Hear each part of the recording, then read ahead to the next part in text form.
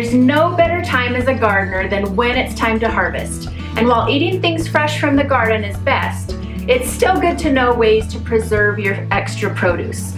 So I'm going to share the three ways that I preserve the fruits, the veggies, and the herbs that come from my garden.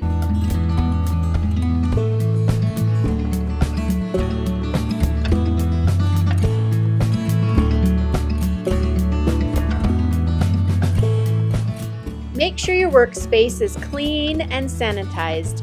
This is the most important step. Fruits, veggies, jars, pots, counters must all be washed well.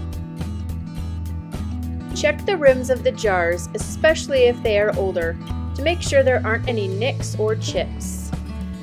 For recipes and processing times, visit your state's Extension Office website.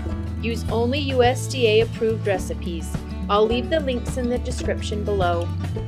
Some produce will need to be peeled. Blanching them will make this job easier. Fill a blanching pot and bring to a boil. Add in the produce, they only need to be put in for a minute or two. Lift out the inner pot and dump the tomatoes into a sink of cold water. My kids love this job, and they all take turns helping. I don't mind it either. It's oddly satisfying.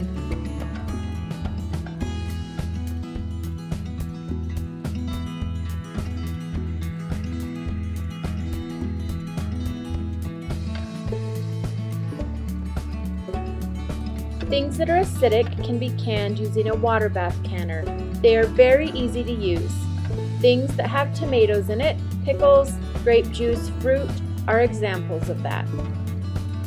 Other vegetables such as carrots, potatoes, or beans will need to be canned using a pressure cooker type canner. I'll link to a blog post of mine with more information all about canning in the description below.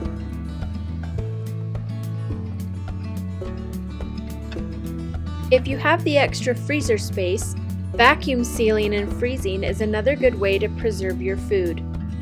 Wash and chop your vegetables and then blanch them. Blanching seals in the flavor and it preserves the color and the texture. Allow them to cool and dry before adding them to the bag. Vacuum sealers are not very expensive. I got mine for less than $40. I vacuum seal my extra squash, zucchini, beans, and peppers.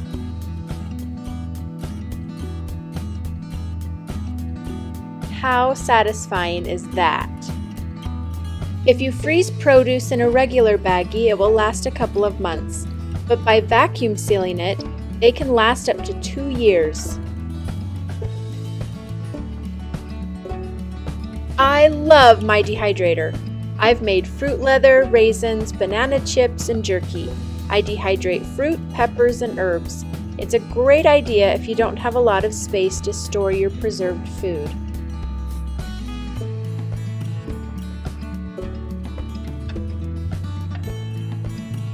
When the apple chips are in the dehydrator, my house smells like apple pie.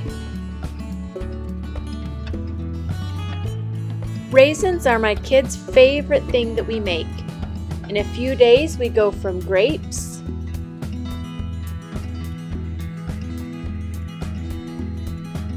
to delicious raisins. I like to store them in jars.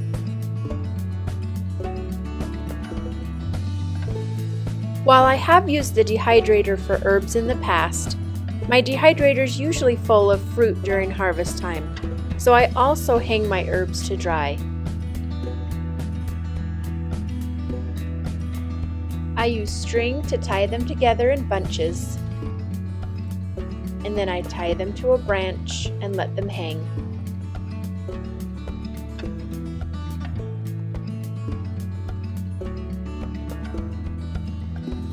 These also store well in a jar. Let me know if you have any questions about canning or preserving your food and leave them in the comments below. I'm going to link to the USDA's website and give you all the information you need to find your local extension office. And don't forget to hit subscribe.